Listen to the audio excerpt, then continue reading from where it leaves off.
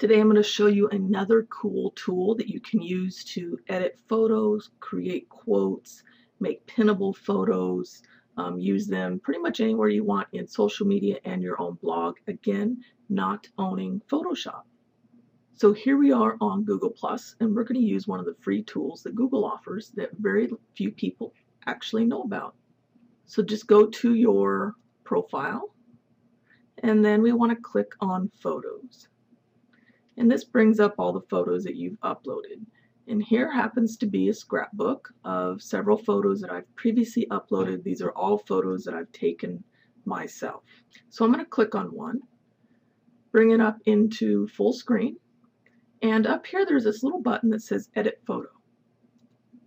I'm going to click on that. It's going to load the photo. And here you can crop it, you can rotate, you can change the exposure, change the colors.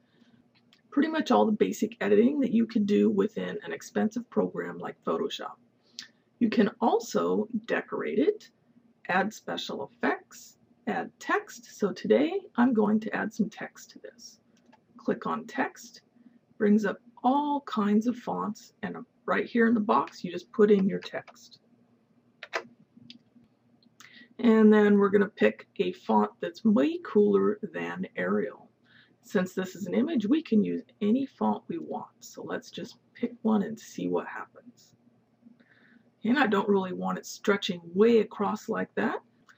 So as you can see, if you paste the quote in, you're going to get it all on one line. If that's not the desired effect that you want, then you must put it in in a few different lines. So I'm going to go ahead and switch this out now.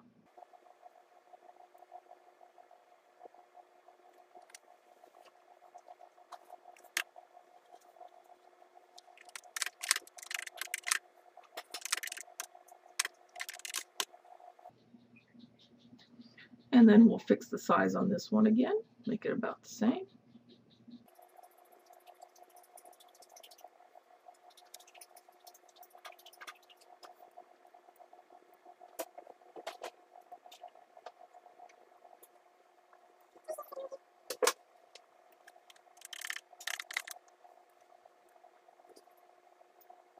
out. Okay, when you're all done, have it exactly what you want, just click Save. Confirm to replace the photo or save a new copy. We're just going to save a new copy. It'll process, and now you can use that photo any place you'd like.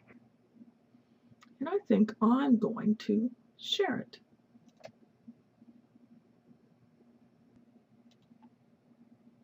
And that is how you create a, quote with your own photos without Photoshop.